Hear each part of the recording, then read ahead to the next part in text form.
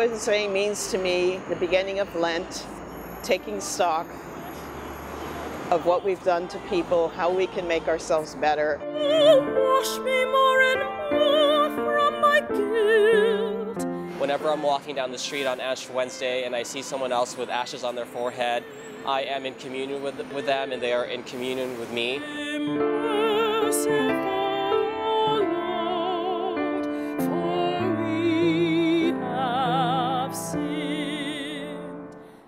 We are dust that God breathes into life with every breath we take.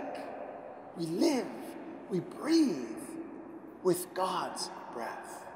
And our creativity, our, our passion, our joy, our curiosity, our love are sustained by the breath of God.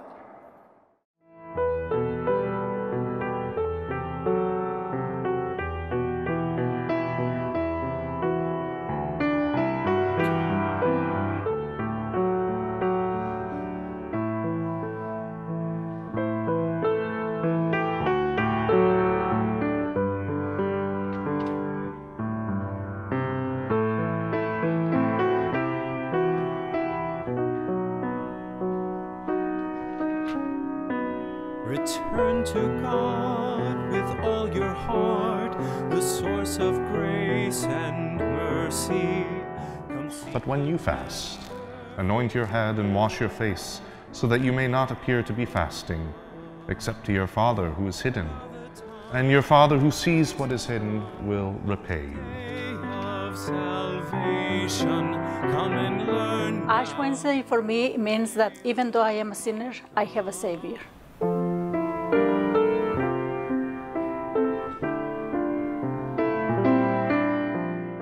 We pray, we're loving God.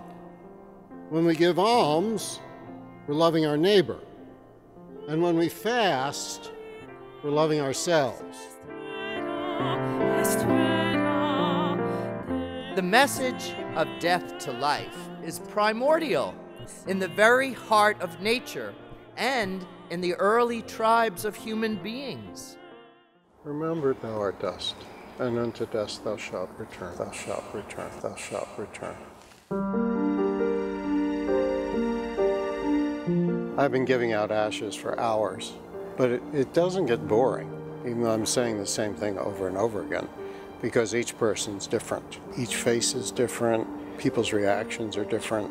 I'm always surprised. I mean, probably three or four women were crying, and I don't know what they're crying about, but you know, it's just people people react, and it's very meaningful to them. Remember, thou art dust, and unto dust thou shalt return. Our culture wants people to always be young. It's, it's a good reflection for Lent. It grounds people in their mortality, because Lent is when you get grounded in what's really important in, in our faith in particular.